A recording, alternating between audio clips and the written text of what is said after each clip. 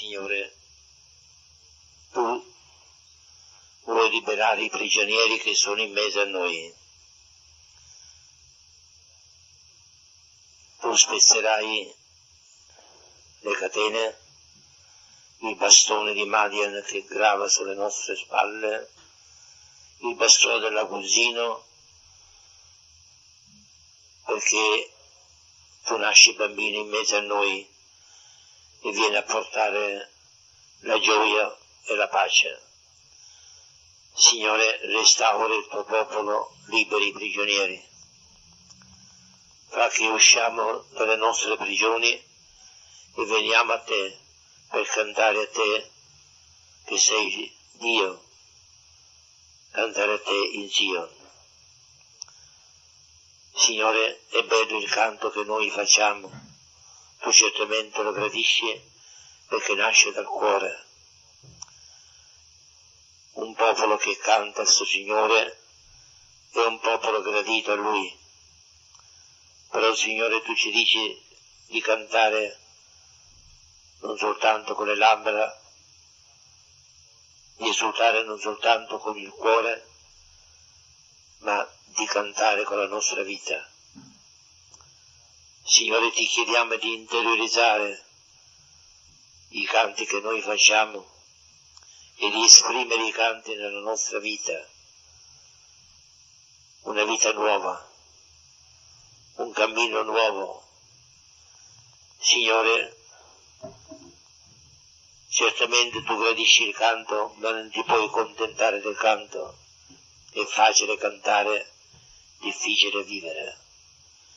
E noi ti chiediamo, Signore, questa sera di vivere quello che noi cantiamo, fa che noi interiorizziamo il canto e viviamo per te una vita nuova, una vita che ci tolga dalla mentalità del mondo, dal sentire del mondo e ci dia la mentalità dello spirito, il sentire dello spirito innesti in noi la tua vita.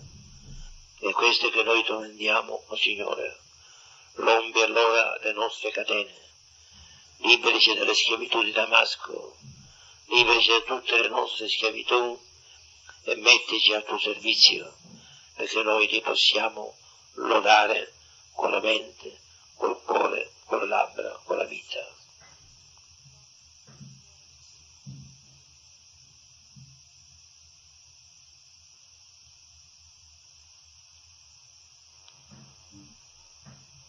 C'è una parola di Amos 9, versetto 14. Farò tornare gli esuli del mio popolo Israele e ricostruiranno le città devastate e vi abiteranno. Pianteranno vigne e ne berranno il vino, coltiveranno i giardini e ne mangeranno il frutto. Grazie, Signore. Io ti lodo e ti benedico, Signore, che tu sei un Padre misericordioso, Signore, che tu ci fai ritornare a te, o oh Signore. E io ti lodo e ti benedico con tutto il cuore, Signore. Vieni, Signore Gesù.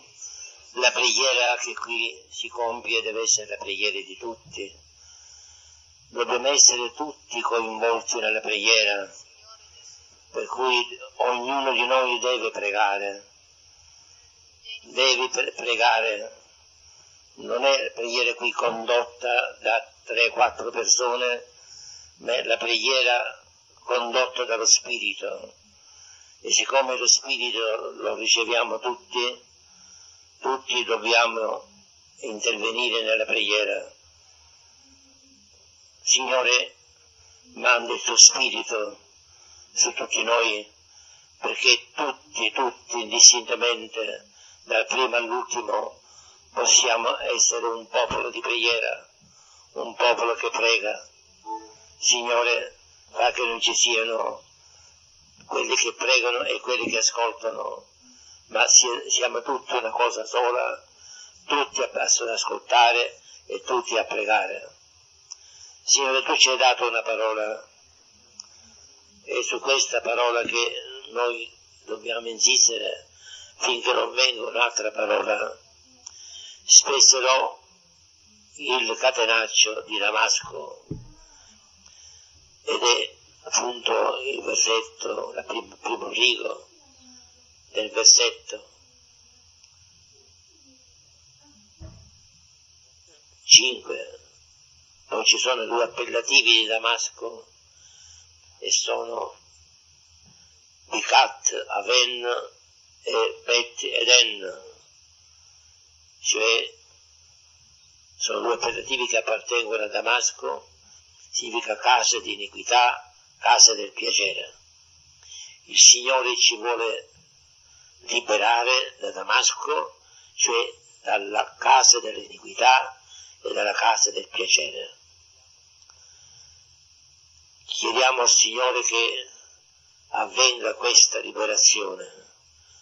Ci sono dei prigionieri di Damasco che possono trovarsi nella casa dell'iniquità e altri che si possono trovare nella casa del piacere.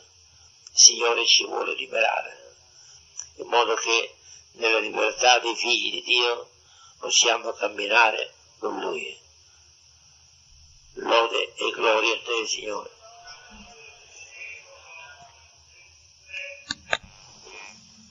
Canterò le tue lodi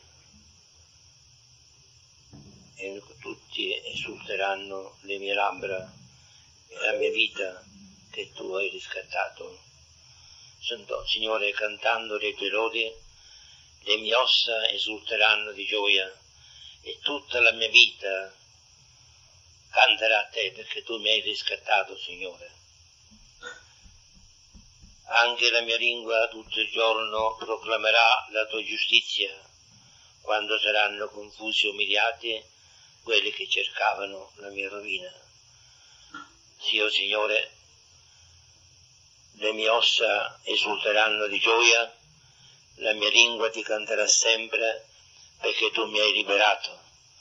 Oh Signore, noi vogliamo cantare a te la nostra gioia perché tu ci hai liberati dal peccato e ci vuoi continuamente liberare nelle occasioni peccaminose.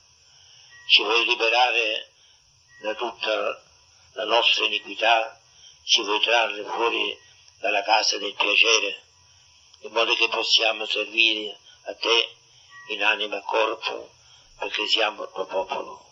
Lode e gloria a te. Yamaranayen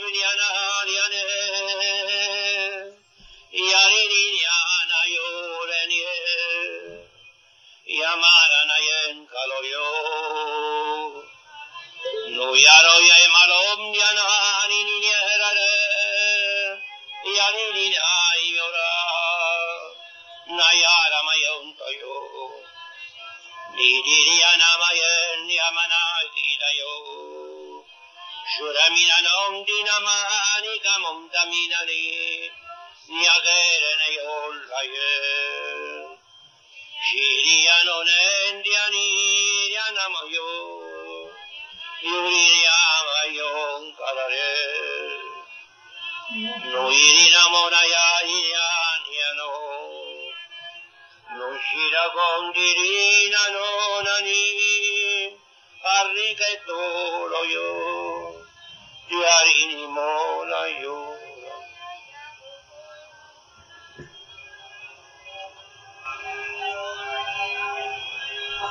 Tutti dobbiamo cantare, tutti, tutti.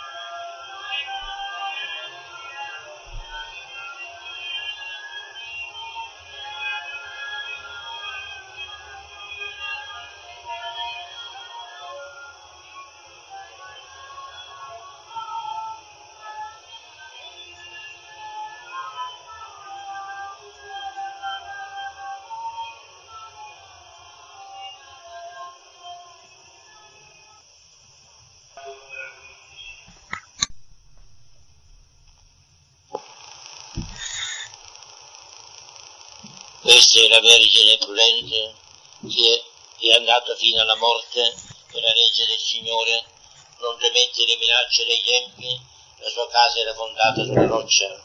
Il Signore sia con voi. Celebriamo la festa di Santa Lucia, illustre martire della Chiesa e la protettrice della Sicilia, insieme con tanti altri santi, ma una gloria siciliana, una tempra di donna siciliana, insieme con Agata, sono come due stelle, queste due sante antiche, che rifulgono ancora nella Chiesa Santa di Dio. Chiediamo al Signore in questo momento la fede intrepida di Lucia e quella luce interiore che condusse Lucia al martirio. Confessiamo i nostri peccati, le nostre infedeltà la nostra infingardaggine davanti alla legge di Dio.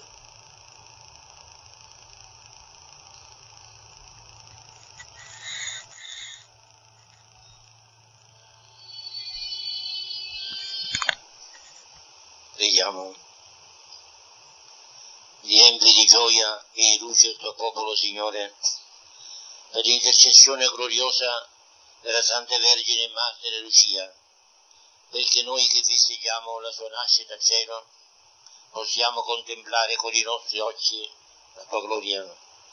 Per il nostro Signore Gesù Cristo, tuo Figlio che è Dio, e vive regna con te nell'unità dello Spirito Santo per tutti i secoli dei secoli. Da di San Paolo Apostolo ai Corinzi. Fratelli, chi si vanta, si vanti nel Signore, perché non colui che si raccomanda da sé viene approvato, ma colui che il Signore raccomanda. O se potessi sopportare un po' di follia da parte mia, ma certo, voi mi sopportate io provo infatti per voi una specie di gelosia divina, avendovi promessi a un unico sposo, per presentarvi quale vergine casta a Cristo, parola di Dio. Il Signore sia con voi. Dal Vangelo secondo Matteo. In quel tempo Gesù disse ai suoi discepoli, non abbiate paura di quelli che uccidono il corpo, ma non hanno potere di uccidere l'anima. Temete piuttosto colui che ha il potere di far perire l'anima e il corpo nella genna. Due passeri non si vendono forse più per un soldo? Eppure neanche uno di essi cadrà a terra senza che il Padre vostro lo voglia. Quanto a voi, perfino i capelli del vostro capo sono contati. Non abbiate dunque timore, voi valete più di molti passeri. Chi dunque mi riconoscerà davanti agli uomini, anch'io lo riconoscerò davanti al Padre mio, che nei cieli. Chi invece mi rinnegherà davanti agli uomini, anch'io lo rinnegherò davanti al Padre mio, che nei cieli. Parola del Signore.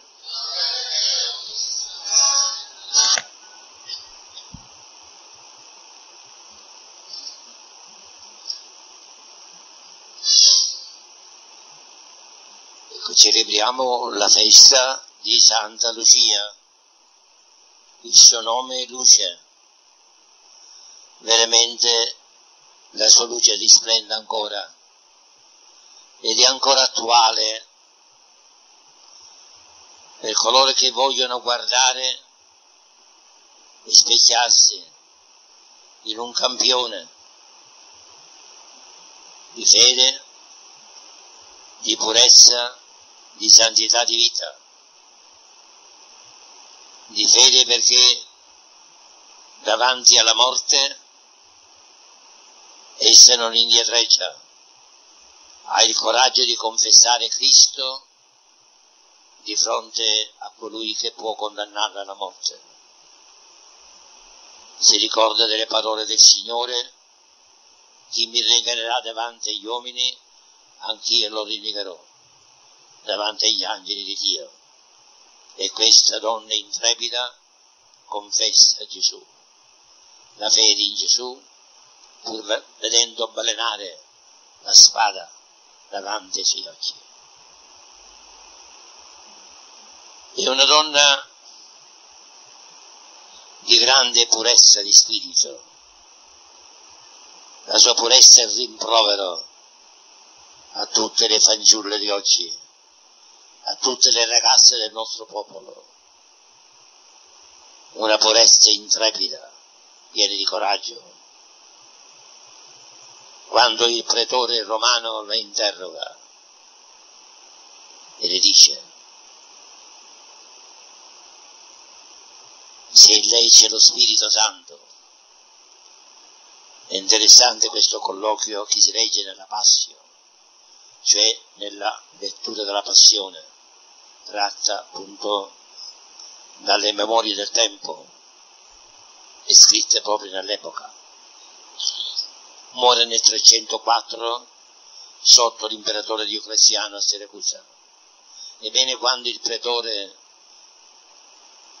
parla con lei. Lei che è una donna intrepida sa rispondere.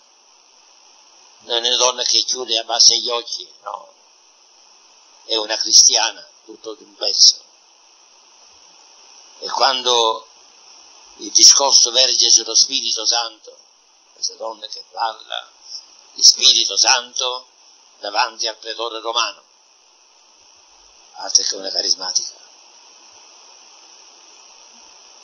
Allora incuriosito il pretore domanda, ma c'è in te lo Spirito Santo? Lucia lo fissa negli occhi, lo inquadra. E dice, coloro che vivono nella purezza e nella pietà verso Dio, costoro sono il Tempio dello Spirito Santo. C'è in me lo Spirito Santo. E continua a fissare gli occhi del pretore romano resta esterrefatto davanti a questa confessione di una fanciulla intrepida. Coloro che vivono nella purezza sono il Tempio dello Spirito Santo. Questo messaggio è rivolto a tutte le donne di oggi, a tutte le ragazze di oggi, coloro che vivono nella purezza nel timore di Dio, sono il Tempio dello Spirito Santo.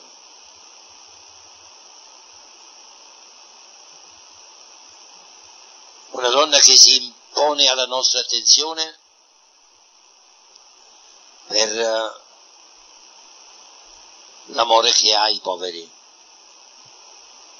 È un fatto interessante questo. Ed è nella coscienza dei primi cristiani, perché povertà e purezza vanno insieme. E così essa vince l'ingordigia del secolo di oggi, l'ingordigia del denaro, il desiderio del denaro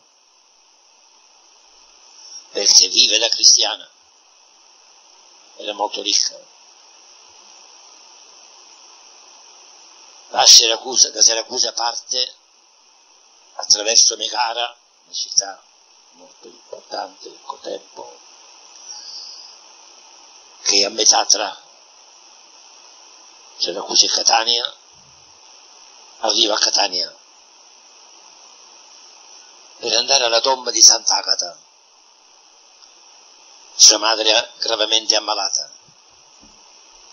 E allora va proprio alla tomba di Sant'Agata per impetrare la grazia della guarigione di sua madre. E Sant'Agata ricomparisce nel sonno, mentre essa prega nella sulla tomba, cade in visione ed Agata le dice Lucia, tua madre guarirà però tu torna a Siracusa. Fa quello che devi fare, vendi tutti i tuoi beni ai poveri. perché come io sono stato martirizzato qui a Catania, così sarai tu se martiri a Siracusa. E così la santa si sveglia, la madre guarita, ritorna con la madre a Siracusa, vende tutti i suoi beni dopo aver assicurato il necessario alla madre, perché non può presentarsi a Dio se non è povera. Questa era la coscienza degli antichi. Così fece Lorenzo, così fecero gli altri.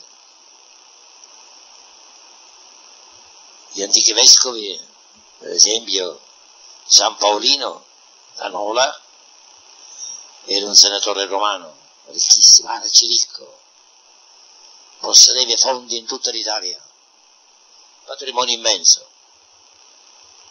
Lo eleggono vescovo, pur essendo senatore ammogliato, ma la sua pietà, con la sua santità. E allora si mette le mani ai capelli, come faccio ora?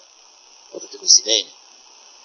In tre giorni, sapete, in tre giorni, vende tutti i suoi poteri, tutti gli appezzamenti di terreno, tutto il suo ricchissimo patrimonio ai poveri, tutti i poveri.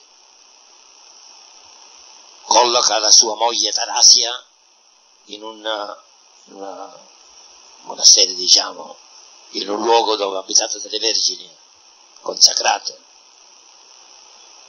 E poi vende tutto perché dice non posso essere consacrato vescovo se non sono povero. Non posso mettere a servizio del Signore se non nella povertà. Ecco qual è il senso dei primi grandi cristiani. I martiri non potevano presentarsi al Signore ricchi, vendevano tutto, perché è nella povertà, nel distacco, che si poteva consegnare l'anima al Signore.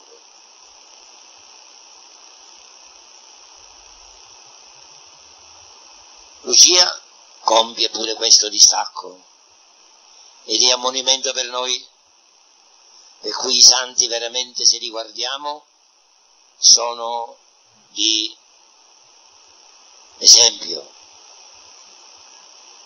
fulgido per noi e sono dell'improvero per noi. Loro vivono veramente il Vangelo. Lucia si para davanti ai nostri occhi come una grande nel cielo, nella santità. Oggi a Palermo ci sono i grandi della terra, ma i grandi davanti a Dio sono i santi. E Lucia è una dei grandi. E il messaggio che lancia è un messaggio di fedeltà a Dio, di purezza immacolata e di distacco dalle cose. Questo è il messaggio che lascia Lucia e che è tuttora valido, valido a distanza di tanti secoli. Perché i santi non tramontano mai. Muore, le vengono cavati gli occhi, quegli occhi che fissano il pretore il quale deve abbassare i suoi occhi. Le vengono cavati gli occhi. Poi viene trascinata al luogo dove sarà profanata perché lo Spirito Santo non abiti più lei, ma essa è diventata pesante, di una pesantezza tale che secondo la passione scritta in quei tempi, neanche i buoi potevano trascinarla, si rompevano le corde e allora la spada troncò il suo capo. Questi sono i vanti che noi possiamo portare davanti agli uomini. È carne della nostra terra. La Sicilia ha maturato questi frutti ha prodotto questi santi è una delle sette sante nominate proprio nel canone della Santa Messa, canone romano, nomina sette donne e una delle sette è Lucia, che secondo l'antifona tratta dalla sua passione nell'antica liturgia viene chiamata sponsa Cristi, la sposa di Cristo, veramente la sposa di Cristo. Dobbiamo gloriarci di Lucia, perché è siciliana e dà lezione a tutto il mondo cristiano. E chiediamo a Lucia queste tre cose. Innanzitutto quell'attenzione allo Spirito Santo. Noi carismatici abbiamo un'attenzione particolare allo Spirito Santo. Lucia ci insegna a stare attenti allo Spirito che dimora dentro di noi. Essere puri come Lucia essere distaccati da ogni cosa come Lucia. Alleluia.